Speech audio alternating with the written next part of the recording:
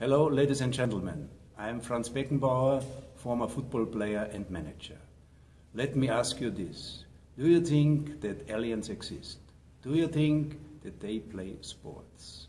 Friends, I have some horrifying news. The answer to both these questions is yes. Last night I was visited by an extraterrestrial race. Yes, aliens. And they want to play football against us. The problem is, if we lose, they will destroy the planet. Now it's up to us to put together a team. Only football can save the planet. More to come.